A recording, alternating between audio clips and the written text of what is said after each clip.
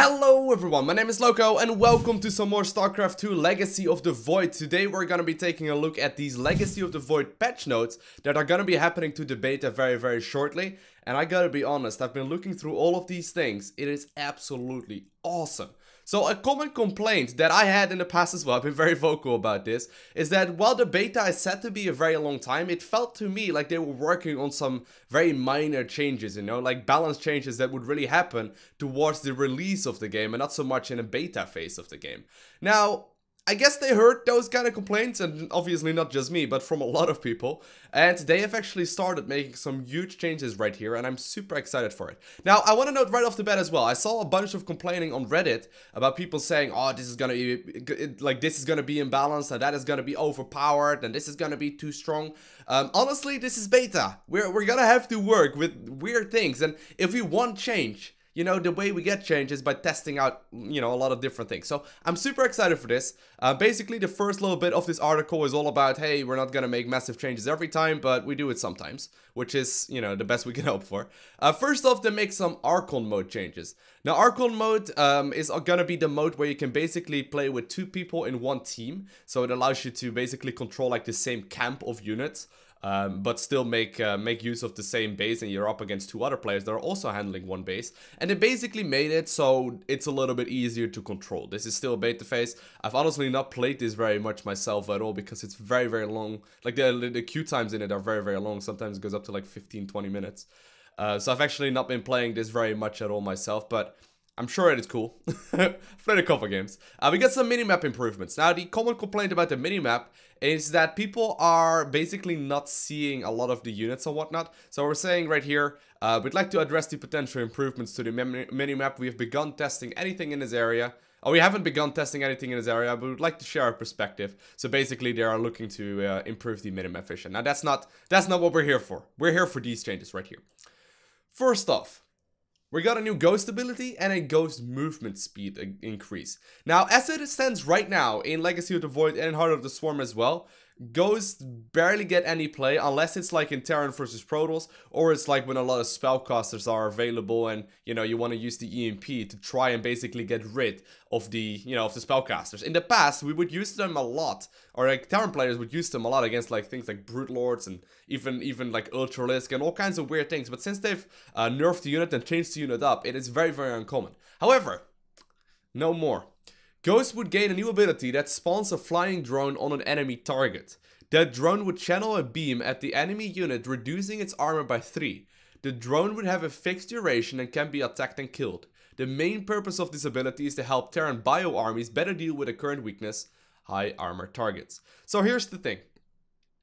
Ultralisk right now are nearly unkillable for Terran players, unless it's with the new Liberator unit, or they're already like so prepared with like an air army that they can actually deal with it. If they're playing a standard bio composition, it feels like to me that, that Ultralisk are too powerful.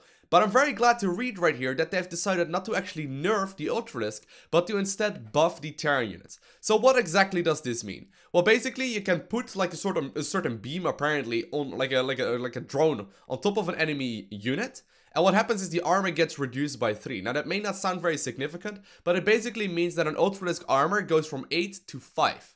Now effectively speaking, that will mean that Marauders especially will actually be able to damage Ultralisk once again. You know, in the past you could actually, um, you know, kill uh, kill Ultras just fine with Marauders. As it stands right now, since Marauders actually do 2 shots instead of 1, uh, it becomes a little bit different because the Ultralisk armor basically get distracted or like let get subtracted twice. So as it says right now, Marauders don't do very much, but with this change right here, I'm imagining that, you know, Marauder Marine will actually be able to deal with the Ultralisk once more, and that is an awesome, awesome change. I'm not completely sure how it will uh, come into play in the other matchups. I can imagine it could also be good against things like Immortals and whatnot, but we'll see exactly how it comes into play. And at the very least, it should make the Ghost, you know, more reliable in a lot of situations, except in like very, very specific scenarios. On top of that, we have a Ghost movement speed increase. Obviously, it doesn't really say uh, how fast this is. I don't think it's going to get like Stimpak kind of speed, but would like to try this one out to see if ghosts can be better combined with other bio units. So, you know, more changes to a unit that is barely used. All good for me, I can't complain. Alright, so this one's cool. This one for the Zerg people out there, which I know most of you are. Uh, this one is awesome. Individual Overlord transport upgrades. After testing out this popular suggestion, we've decided to give it a try during the beta. I feel like the Nidus Worm uh, changed in Legacy the Void. Doom drops have been buffed with the Nidus Worm already, so we wonder if Overlords can be served for the smaller drops.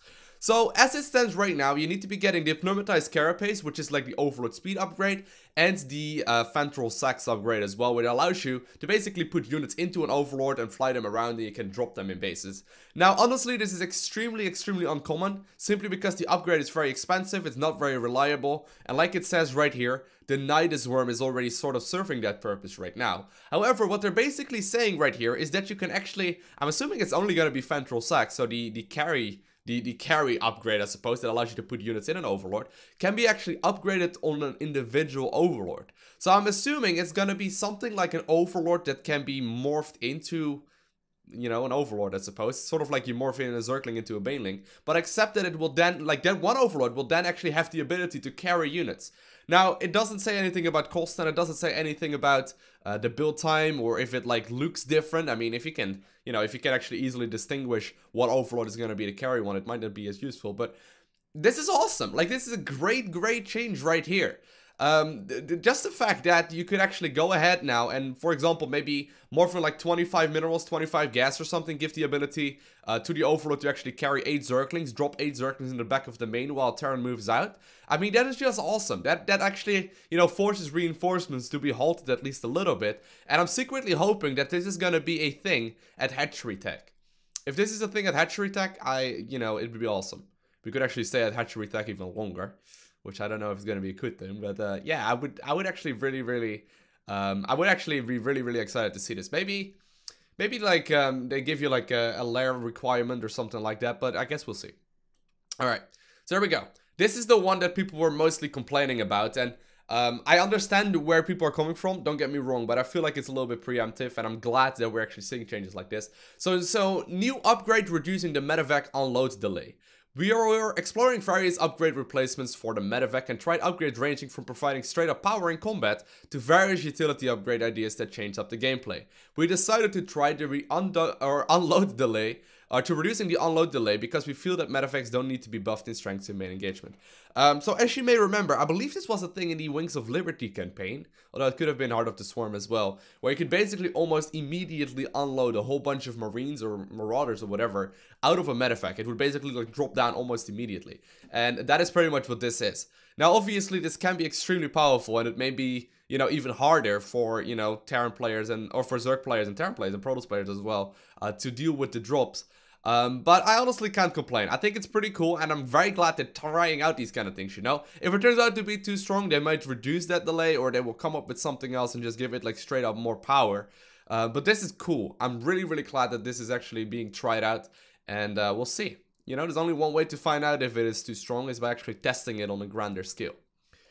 Alright, next up, we have the Disruptor damage, so that is the big ball unit sort of thing from the Protoss player uh, for the Protoss players that basically you can be activating and then it explodes after a little while. Um, the damage has increased from 145 to 145 plus 55 to shields. Disruptors aren't effective in the PvP mirror matchup, so we wanted a targeted change that only affects that matchup. Now, I'm I'm no no like I'm no expert when it comes to Protoss versus Protoss, but 210 damage seems like a lot. I mean, it will pretty much one-shot everything. Uh, so we'll see. Um, there is obviously a, a, straight up movement speed increase as well to these zealots after getting charged. Uh, so I don't know exactly if you are able to like very quickly split, even if the you know the big ball of doom is still going to be there. But you're at the very least going to have to micro against this unit. Now keep in mind, disruptors are 100 minerals and 300 gas, so very very expensive. They're not cheap whatsoever. Um, so yeah, I'm, I'm assuming this is going to be cool. And I well, I'm no expert at PvP. but it sounds like a pretty exciting change, I suppose. All right, so there we go. Ravagers no longer have the armored flag. Now the Ravager is the unit that actually morphs off of a Roach. In the past, it got nerfed in two ways. First off, it got nerfed in the range department, so it went from 6 range to 4 range, but most importantly, made it at the same range as a Roach. So, you know, where in the past they would actually be able to shoot over roaches because they morph off of roaches, so you always have a bunch of them lying around anyway. Where in the past you could shoot over the roaches, right now you cannot do that anymore, and on top of that, the damage got reduced significantly as well. Um, now the Ravager no longer has the armor flag. I'm assuming that's gonna be a little better against like Terran Bio, like like Marauders and whatnot, but I'm not exactly sure what this means. I mean, I'm assuming, yeah, they're, they're going to be better at things like Immortals and against things like Marauders and whatnot. And I'm, I'm not sure. It feels like the main reason why the Ravager is so weak is because it's super expensive. It basically is like the cost of three roaches. You know, like if you value gas higher than, than minerals, or at least a little, it's like three times as expensive as a roach. Um, and it doesn't really get any more damage done. The ability is not great, you don't really break force fields with it, so I'm not sure if this is enough. But at the very least, you know, it's being worked on. Next up, we have the Viper Parasitic Bomb. Now, the Parasitic Bomb ability is the ability that you can cast from the Viper that does AoE damage to air units. So it's only an anti-air sort of ability, and you can basically blow up Mutalisk and everything that clumps up together in air uh, very, very rapidly. Um, it's especially being seen right now in Zerg vs Protoss. In larger fights against many air units, the micro uh, that we want or that we wanted to see is not happening right now because people just simply spam the Viper ability over and over again. Now the increased um, ability cost is actually from 100 to 125. This means that you can, if I'm not mistaken, you can only put one um, parasitic bomb on each Viper, so you're gonna need twice as many instead of two. Right now, if you get full energy, you can cast a bunch of them. Um, this is this is actually reasonable. I, I am pretty glad that they're doing this because it seems to me right now as well that it seems a little bit too powerful. I am not sure, however, how Zerg is gonna deal with like massive Protoss armies. The reason why I'm saying that is because if a Protoss is microing properly right now, it's already very, very difficult to kill it, even with the new Viper ability. Uh, the way I've been dealing with it is instead never engaging that Protoss army and just constantly counterattacking, uh, which seems to work out alright, but we'll see how this one comes into play um, yeah, I can't I can't say very much about it. I'm glad that it's being nerfed a little. Um, or I, it's, it's not so much a nerf. Like the ability is still as powerful. You just can't carry two on every single Viper. So you know you can still do the same thing. You just need to get a bunch more uh, a bunch more Vipers. the armory ship upgrade costs reduced to the match the vehicle upgrade cost. So yep, fair enough. Spore crawler damage increase from 15 to 30 to bio uh, to 15 plus 15 to bio. Now this was something that was added, this right here, was something that was added in the past to basically make the Mutalisk a lot more useful for, Z or yeah, versus uh, Zerg. So as it stands right now, Mutalisk are extremely, extremely uncommon in Zerg vs Zerg matchup. They already were uncommon, as you may be aware in Roach vs Roach, you know, in Zerg vs Zerg you would see Roach vs Roach mainly. Um, and sometimes, you know, if a player got like a significant advantage early on or, you know, the game just turned out that way, you will see someone switch into Mutalisk, but it's a massive risk because Roach timings will just sort of kill you. Um, the only thing in Legacy of the Void is that there's two massive changes to it. First off, the, um, the Hydralisk have their upgrades merged.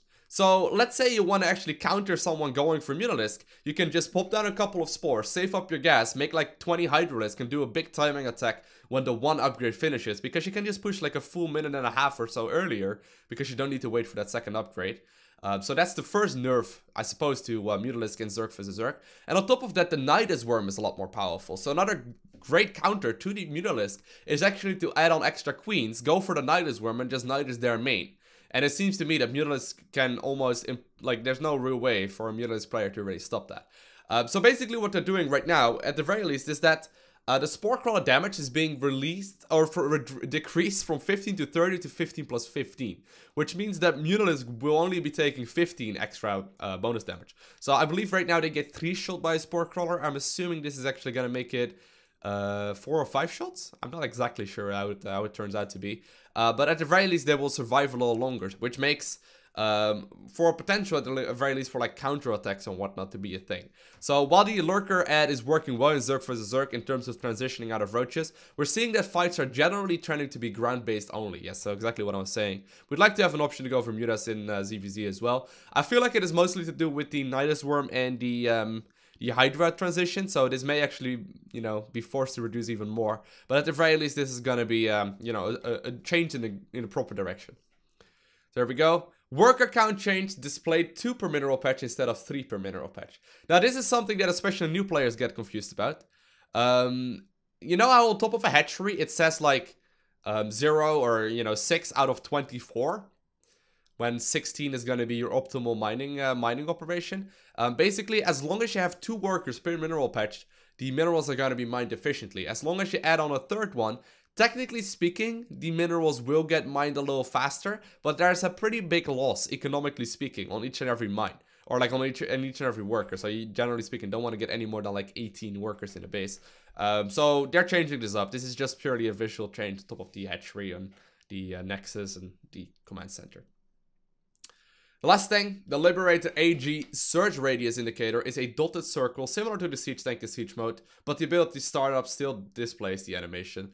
Um, so this is just purely visual as well. The change is due to performance issues caused by potentially having so many splats in a given spot. Alright, fair enough.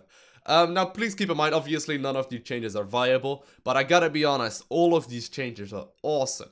I'm glad they're headed in that direction. I'm glad we see a lot of changes. And please don't worry so much about balance because this is not what a beta phase is meant for. Once the game gets closer to release, I'm sure we'll see a lot of patches like we saw in the past as well, uh, where, you know, there will be minor changes or minor minor things that will be um, adding up together. So you know you have an actual balanced game when a game gets released or you know at least a somewhat balanced game. But for right now i'm glad that we are seeing these massive overhauls um, to just core units like a Medivac. Like you know like you know you just read through it. It's awesome. I'm excited. Hope you guys are as well. If you haven't already hit the like button. If you want to see more hit the subscribe button as well because i will be giving you continuously uh, more and more upgrades or updates as well uh, as far as you know legacy of the void goes and other games as well. So if you haven't already hit that sub button and i want to thank you guys all for watching. Have an amazing day. Do not forget to smile and i will see you in the next one